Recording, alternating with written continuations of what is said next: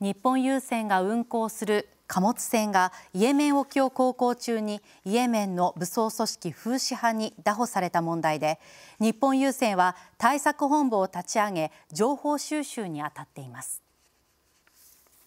拿捕された貨物船はイギリスの会社が所有し日本郵船が運航していたもので乗組員25人の中に日本人はいないということです。